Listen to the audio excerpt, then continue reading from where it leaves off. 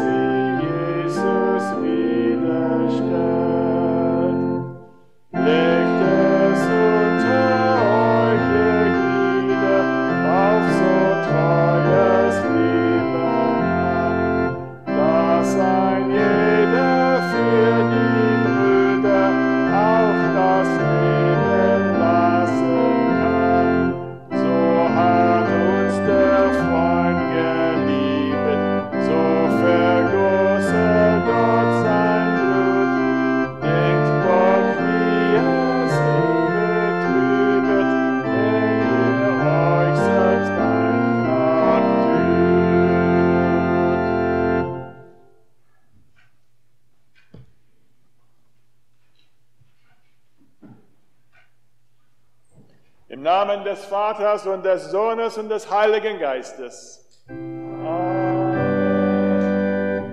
Unsere Hilfe steht im Namen des Herrn.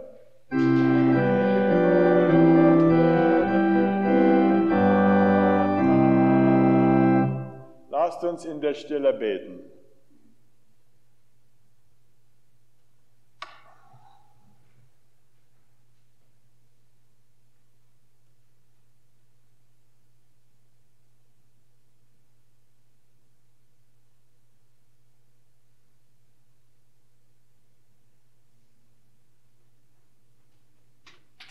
Umkehr zu Gott bedeutet heute die Verpflichtung, einen Weg zu suchen und in eine Gemeinschaft, die sich bewusst ist, dass sie der ständigen Vergebung und Erneuerung bedarf und die Gott für seine Liebe und für seine Gaben gemeinsam lobt und preist. Verbirg dein Angesicht vor unseren Sünden und tilge alle unsere Schuld. Schaffe in uns reine Herzen und gib uns deinen beständigen Geist.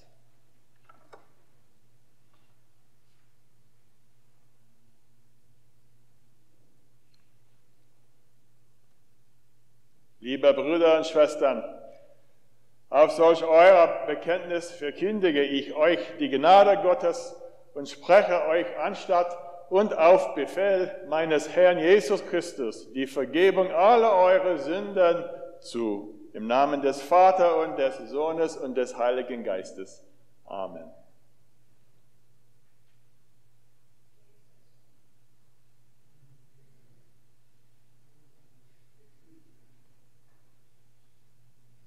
Psalm 23 zusammen.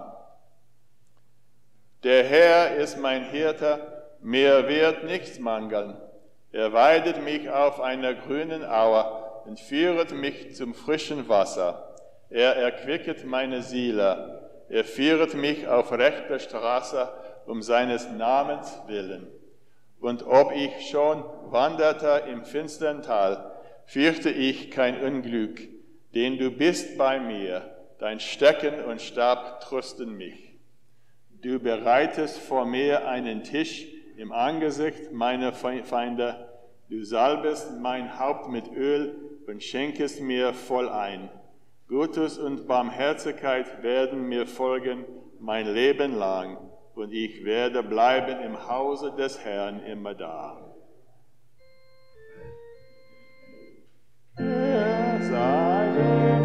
Vater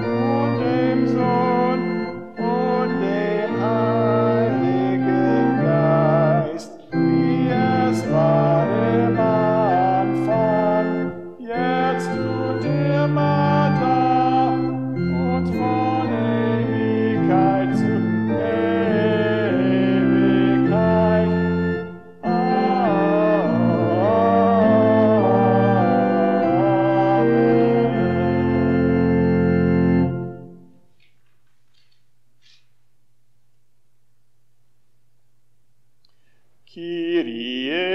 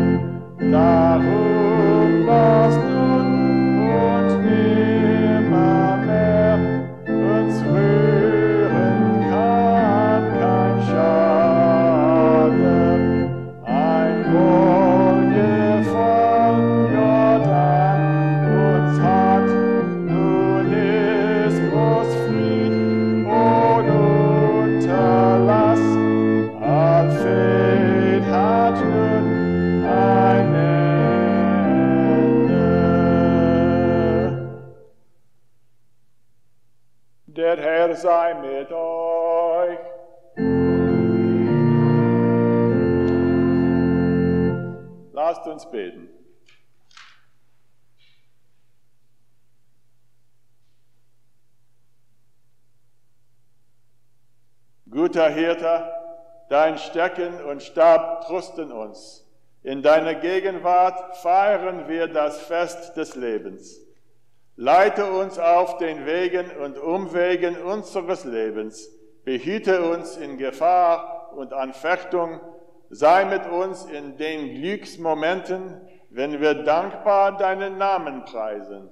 Erhalte uns im Glauben, dass wir bleiben in deinem Haus immer da Amen.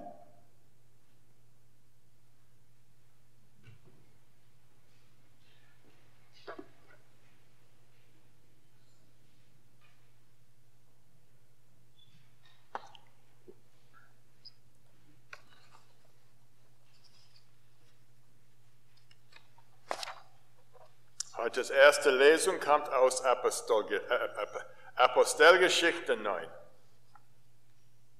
In Joppa war eine Jüngerin mit Namen Tabitha, das heißt übersetzt Reh. Die tat viele gute Werke und gab reichlich Almosen.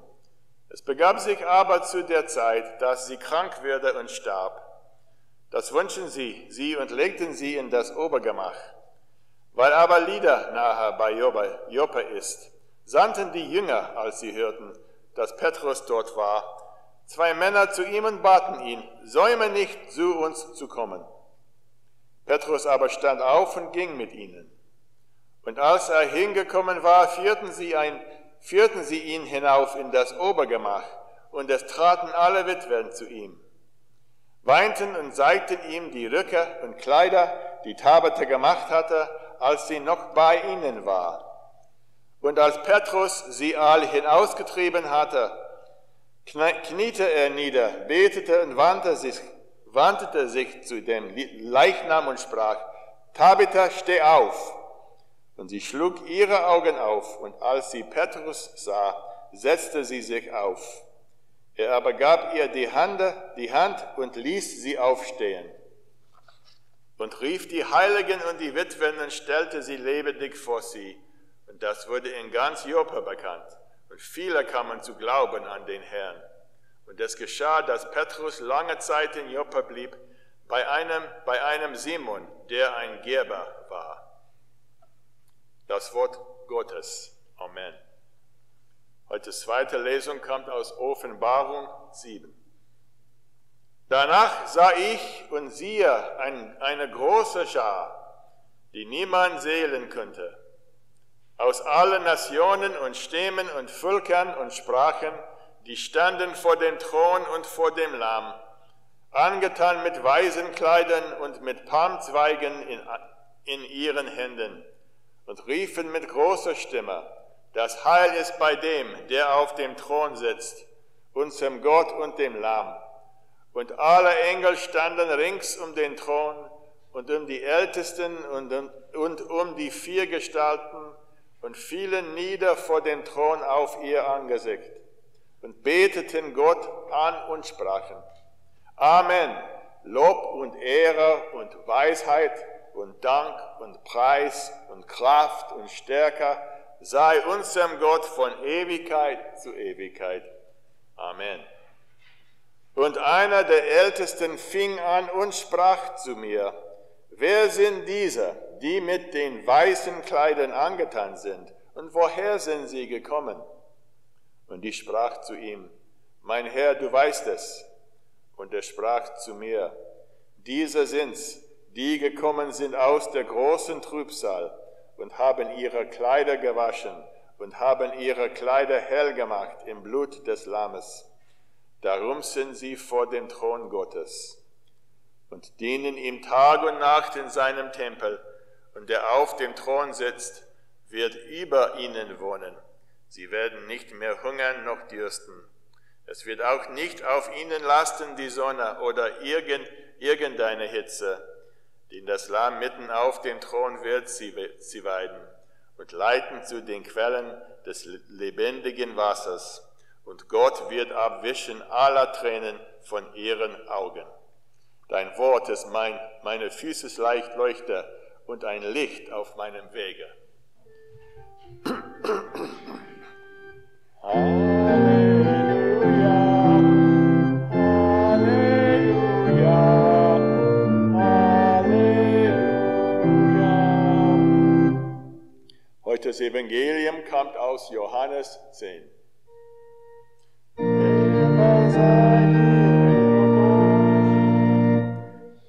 Es war damals das Fest der Tempelweihe in Jerusalem und es war Winter. Und Jesus ging umher im Tempel in der Halle Salamos. Da umringten ihn die Juden und sprach zu ihm, wie lange hältst du uns im Ungewissen? Bist du der Christus, so sage es frei, frei heraus. Jesus antwortete ihnen, ich habe es euch gesagt und ihr glaubt nicht. Die Werke, die ich tue in meines Vaters Namen, die zeugen von mir. Aber ihr glaubt nicht, denn ihr seid nicht von meinem Schafen. Meine Schafe hören meine Stimme, und ich kenne sie, und sie folgen mir, und ich gebe ihnen das ewige Leben. Und sie werden nimmer mehr umkommen, und niemand wird sie aus meiner Hand reißen. Mein Vater, der mir sie gegeben hat, ist größer als alles, und niemand kann sie aus des Vaters Hand reißen. Und ich, oh ich und der Vater sind eins. Das Evangelium Christi. Sei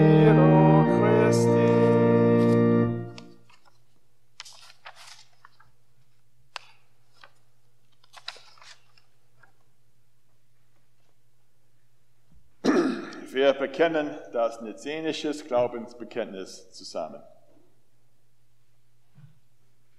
Wir glauben an den einen Gott, den Vater, den Allmächtigen, der alles geschaffen hat, Himmel und Erde, die sichtbare und die unsichtbare Welt. Und an den einen Herrn Jesus Christus, Gottes eingeborenen Sohn, aus dem Vater geboren vor aller Zeit, Gott von Gott, Licht vom Licht, wahrer Gott vom wahren Gott, gezeugt, nicht geschaffen, eines Wesens mit dem Vater, durch ihn ist alles geschaffen. Für uns Menschen und zu unserem Heil ist er vom Himmel gekommen, hat Fleisch angenommen durch den Heiligen Geist von der Jungfrau Maria und ist Mensch geworden. Er würde für uns gekreuzigt unter Pontius Pilatus, hat gelitten und ist begraben worden, ist am dritten Tage auferstanden nach der Schrift und aufgefahren in den Himmel. Er sitzt zu Rechten des Vaters und wir wiederkommen in Herrlichkeit, zu richten die Lebenden und die Toten. Seine Herrschaft wird kein Ende sein. Wir glauben an den Heiligen Geist, der Herr ist und lebendig macht, der aus dem Vater und dem Sohn hervorgeht, der mit dem Vater und dem Sohn angebetet und verherrlicht wird, der gesprochen hat durch die Propheten und die eine heilige, allgemeine und apostolische Kirche. Wir bekennen die eine Taufe zur Vergebung der Sünden. Wir erwarten die Auferstehung der Toten und das Leben der kommenden Welt. Amen. Heute das nächste Lied ist 345, 1 bis 3, auf meinen lieben Gott.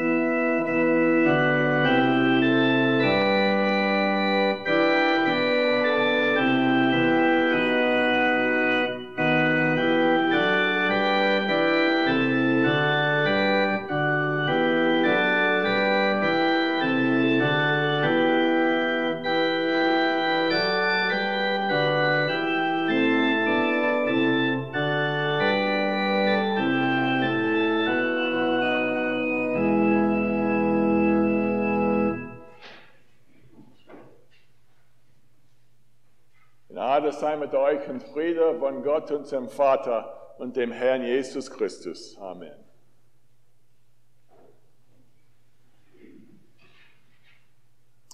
I, I think you probably realize this by now, but just in case you don't, the Bible passages that we read every Sunday are not chosen by me.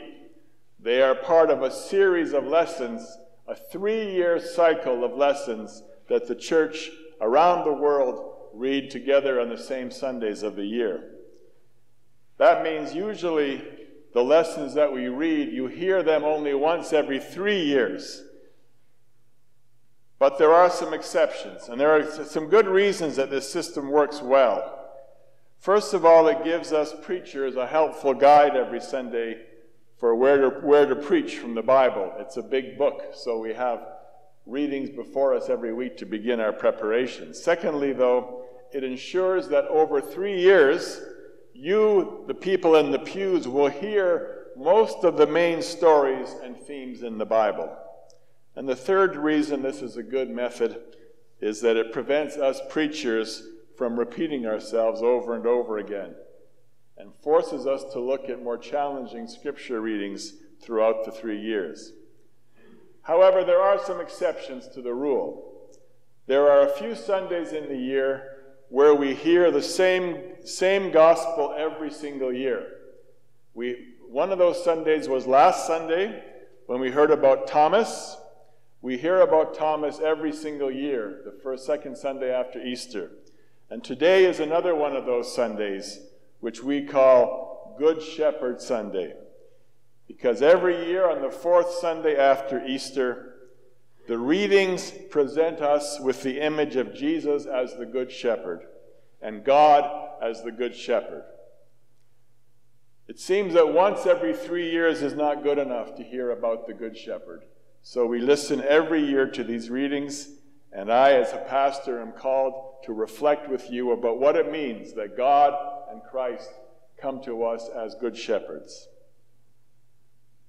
It's a beloved image of God, the picture of the Good Shepherd. It's so valuable, so necessary, I guess, that we need to hear about the Good Shepherd every chance we get. So every year we need to be reminded of it, think about it, reflect upon it, and hear a sermon about it. And of course, in many churches like our own, we even have art in our walls that depict the picture of the Good Shepherd. This morning, I want to reflect with you on the two most beloved pictures of the Good Shepherd that we have. The first is the psalm for today, Psalm 23, beginning with Der Herr ist mein Hirte, mir wird nichts mangeln. And then three portions from our gospel from John 10.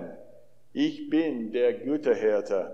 Meine Schafe hören meine Stimme und ich kenne sie und sie folgen mir und ich gebe ihnen das ewige Leben. So we begin again. Der Herr ist meine, der Herr ist mein Hirte. Mir wird nichts mangeln.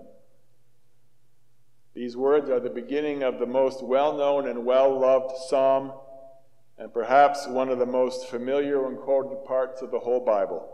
Psalm 23. I know for certain that this psalm is the part of the Bible that I have read most often in my ministry and in the most various places in my 36 years of working in, in ministry. So today we ask, what is it about this old ancient psalm that still speaks to us today? Almost always, as a pastor, I tend to read this psalm in times of need perhaps at a hospital bedside, or before someone is facing serious surgery. And of course, as you all know, at funeral services, um, many, many times the first scripture passage or the passage that somebody has hidden in their Bible or marked in their Bible is this Der Herr ist mein Hirte, mir wird nichts mangeln. Or when I pray for someone or with someone in need, so often, the image of the Good Shepherd is the place where I turn to offer comfort, peace, and consolation in times of suffering, loneliness, and fear. And there is good reason for this. Because right from the beginning, Psalm 23 describes the shepherd as the one who does his job well. First, the shepherd provides the basics that every shepherd should grünen Aue and fresh Wasser. This is the basic job description of even the most average shepherd. Give the sheep what they need to feel safe. Give them enough to eat and drink. Help them to be satisfied and unstressed. These are the basics of shepherding. But our shepherd is more than just basic or average. Our shepherd is the good shepherd which means it is not only the basics of food, water, shelter that is provided. The real test of a good shepherd is his presence and strength in the darkest time, in the most difficult times. How far will a shepherd go for the sheep? What will the shepherd risk? What will the shepherd give up for the sheep? And as Jesus points out elsewhere in John's gospel, this is the difference between a hired hand and a shepherd. A hired hand is not invested in the sheep. All, all the hired hand is concerned about is a paycheck. So when danger comes, the hired hand is quick to run away, to abandon the sheep, concerned only for his well being. But in the most darkest and most dangerous times, what does the Good Shepherd do? Und ob ich schon wanderte im finstern Tal, fürchte ich kein Unglück, denn du bist bei mir, dein Stecken und Stab trösten mich. God, the Good Shepherd, does not walk away from our darkness, our pain, our suffering, our trials. Yes, we may have plenty of questions and doubts about why things happen to us in this life. And the words of Psalm 23 certainly don't deny the dark valleys that we must travel in this life.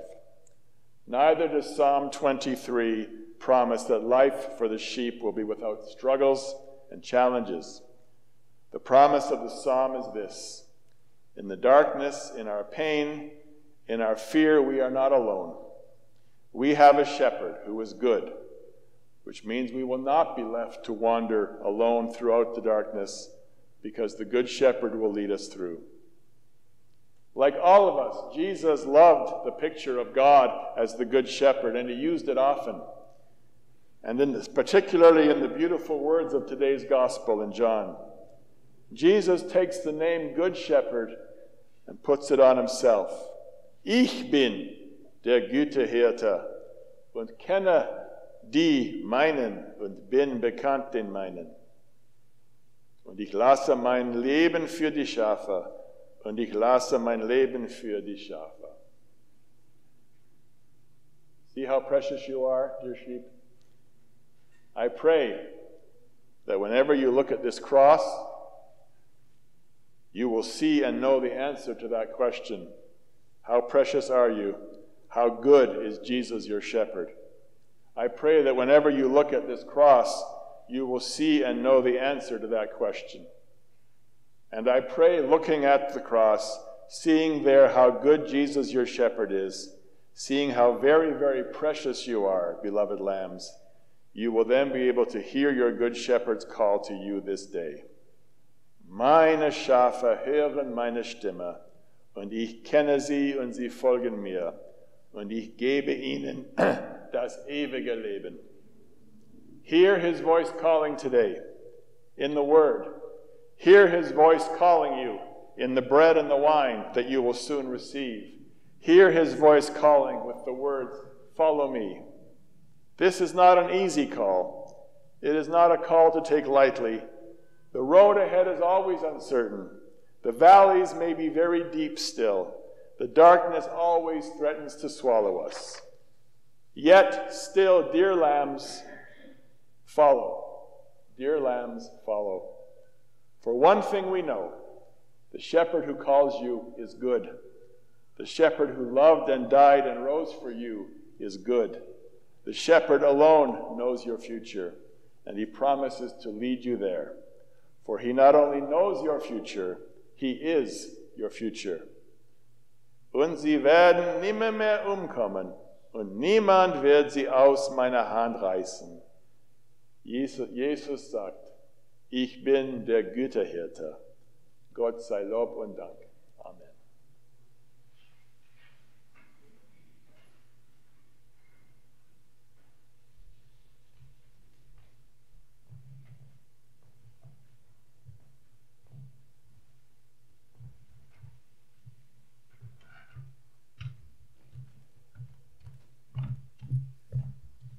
Heute das Predigtslied ist 353, 1 bis 4.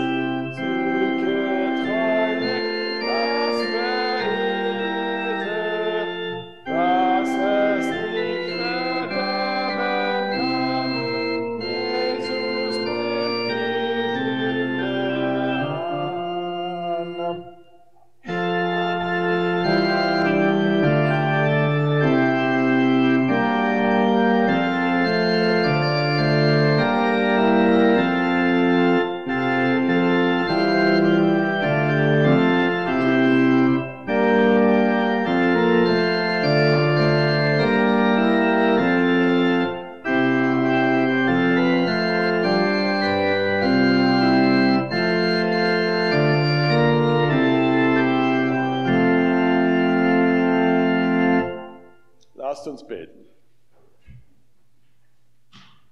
Gott des Lebens, du wächst neue Hoffnung und hast in Christus aller Welt gezeigt, dass deine Liebe stärker ist als Tod und Hoffnungslosigkeit. Du hast dem Leben zum Recht verholfen. Darum kommen wir zu dir mit allem, was uns bewegt. Gott, du bist der gute Hirte. Weide deine Kirche in deiner Gnade. Lass sie ein Ort sein, an dem Menschen deine Liebe erfahren und in der Gemeinschaft erfahren, dass sie behütet sind. Wir rufen zu dir, Herr, erbarme dich. Gott, du bist der Gütehirte. Sei mit allen Menschen auf der Flucht, mit denen, die verloren und zwischen allen Stühlen. Sei mit denen, die Verantwortung tragen in Regierungen und Hilfsorganisationen und segne alle Bemühungen, die Not zu lindern. Wir beten heute für Friede in Ukraine. Wir rufen zu dir, Herr, erbarme dich. Gott, du bist der Gütehirte. Wir bitten dich für Kinder und Jugendliche, dass sie lernen, liebevoll zu leben und erfahren, dass sie selbst geliebt sind. Wir bitten dich für Eltern und Lehrer, dass sie mit Sorgfalt und Achtsamkeit die ihnen anvertrauten Kinder begleiten. Wir beten für unsere Kranken, Ben, ben Bablitz und Elsa Penschek. Wir rufen zu dir. Und wir bitten dich für deine Kirche hier in Edmonton. Lass sie, lass sie ein Ort sein und werden an dem Menschen Zuflucht finden in den Ängsten und Herausforderungen des Lebens. Lass sie ein Ort sein und werden, wo Menschen die Freuden und das Glück miteinander teilen. Gott du, Gott, du lässt die Hoffnung niemals verloren gehen. Nimm dich unserer Bitten an nach deiner Güte und bewahre uns in deiner Liebe durch Jesus Christus, der mit dir und dem Heiligen Geist Leben schenkt in Ewigkeit. Amen.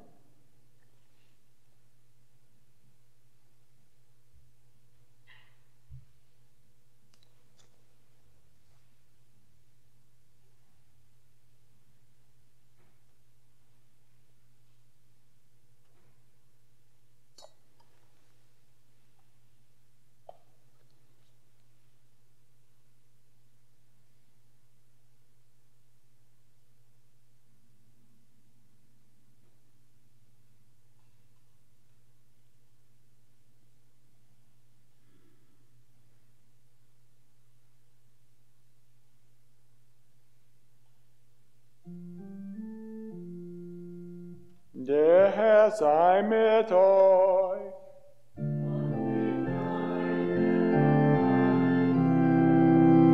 Die Herzen in die Höhe.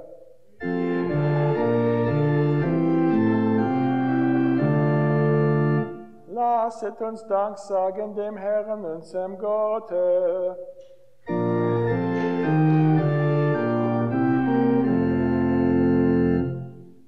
Wahrhaftig würdig und ist es und recht, dass wir dich, ewiger Gott, immer und überall loben und dir danken durch unseren Herrn Jesus Christus. Ihn hast du der Welt zum Heil gesandt. Durch seinen Tod haben wir Vergebung der Sünde und durch sein Auferstehen das Leben. Mit den Engeln vereinen wir unsere Stimmen und bekennen ohne Ende. Heilig, heilig, heilig.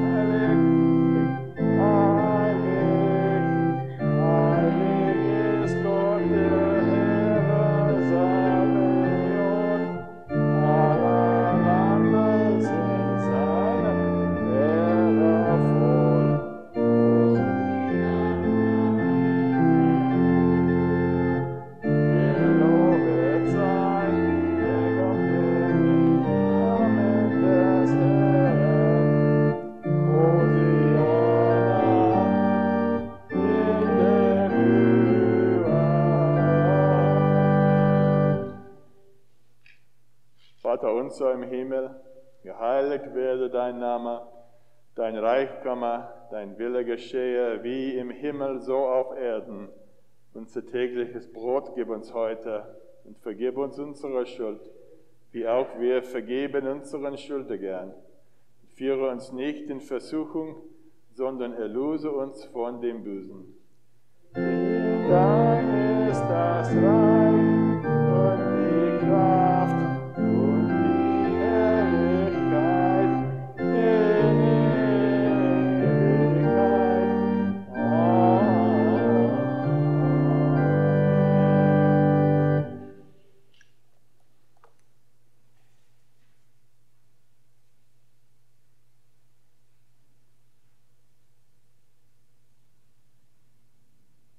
unser Herr Jesus Christus, in der Nacht, da er verraten ward, nahm er das Brot, dankte und brach's und gab's seinen Jüngern und sprach, Nehmet hin und esset, das ist mein Leib, der für euch gegeben wird, der für euch gegeben. Solches tut zu meinem Gedächtnis.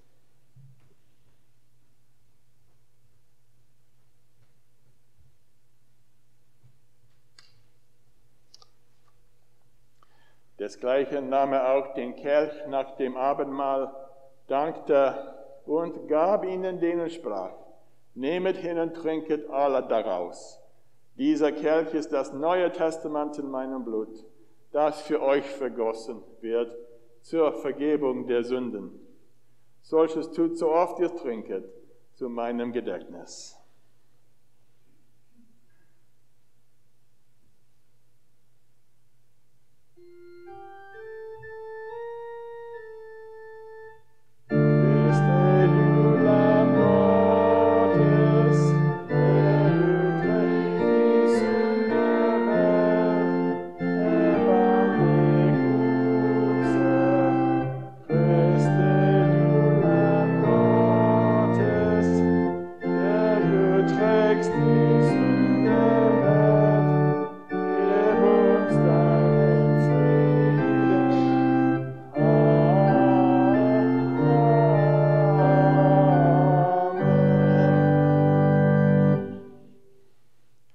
Es ist alles bereit.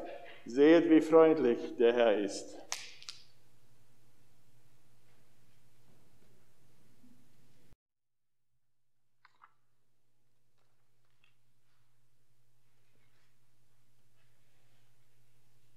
Lasst uns beten. Lieber Gott, an deinem Tisch haben wir erlebt, wie gut du zu uns bist. Hab Dank dafür. Bleibe alle Tage bei uns. Dir sei Ehre in Ewigkeit. Amen. Der Herr segne euch und behüte euch. Der Herr lasse sein Angesicht leuchten über euch und sei euch gnädig. Der Herr erhebe sein Angesicht auf euch und gebe euch Frieden. Amen. Sitz, sitzen Sie sich bitte.